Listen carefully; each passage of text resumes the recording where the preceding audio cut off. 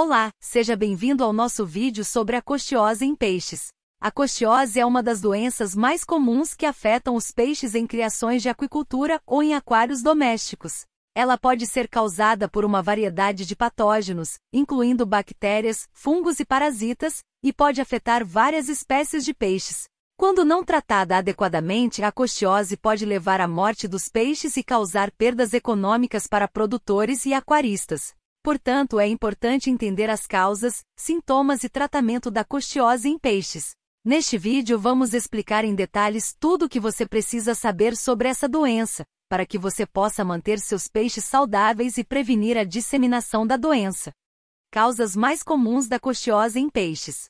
A costiose em peixes é causada por diferentes patógenos, tais como bactérias, fungos e parasitas. Esses patógenos podem estar presentes em qualquer ambiente aquático, incluindo tanques de cultivo, lagos, rios e até mesmo em água salgada. As causas mais comuns da costiose em peixes incluem 1. Bactérias. A maioria dos casos de costiose em peixes é causada por bactérias do gênero Aeromonas ou Pseudomonas. Essas bactérias são encontradas naturalmente na água, mas se proliferam em condições ideais, como água com baixa qualidade ou estresse nos peixes. 2. Fungos. Alguns tipos de fungos também podem causar a costiose.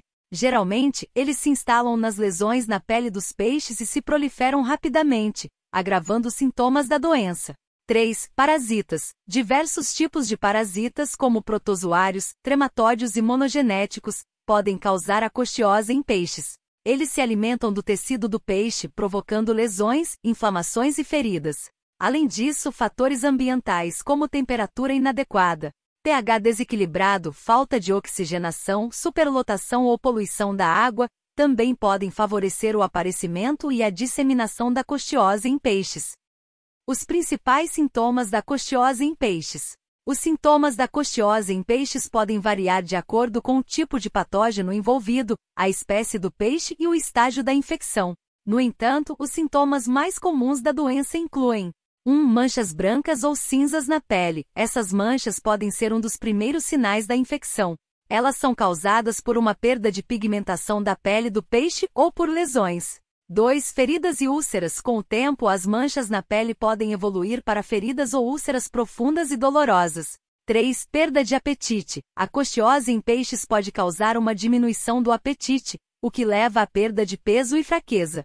4. Comportamento anormal peixes infectados podem apresentar comportamentos diferentes como natação lenta ou anormal, respiração superficial e falta de atividade.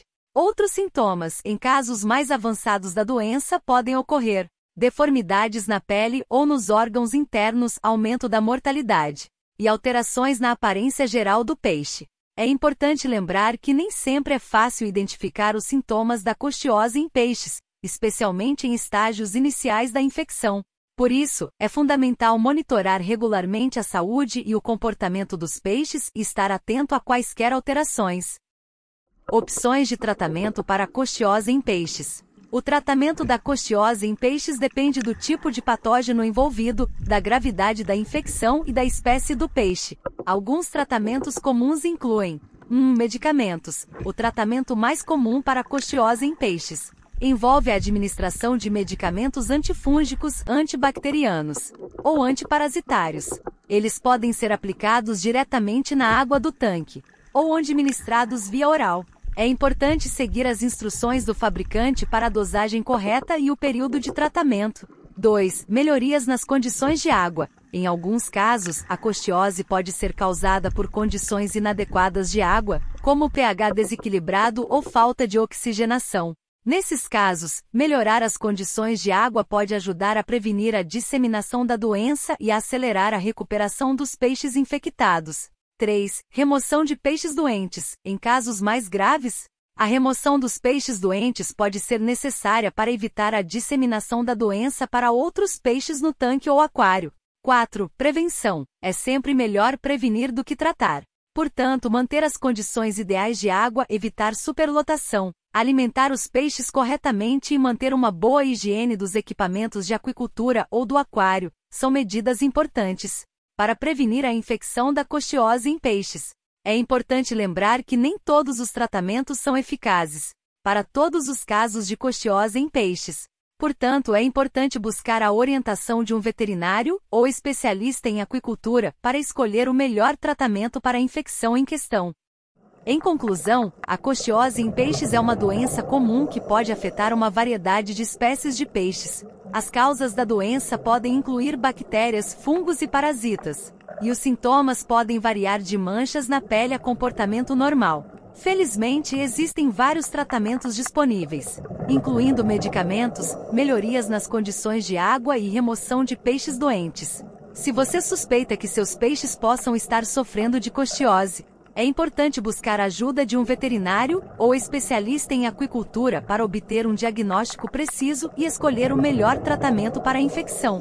Com os cuidados adequados, é possível prevenir e tratar com sucesso a costiose em peixes e manter seus peixes saudáveis e felizes. Caros amigos e amigas, peço que visitem nosso site a Pet Emporium. A Pet Emporium é uma loja que oferece uma ampla variedade de produtos para animais de estimação. Não perca esta oportunidade única de encontrar uma variedade incrível de produtos para melhor cuidar dos seus pets. Clique nos links abaixo do vídeo no comentário fixado ou na descrição do vídeo. Se você gostou do vídeo, inscreva-se no canal, deixe seu like, compartilhe com os amigos e ative o sininho das notificações. Um grande abraço e até o próximo vídeo.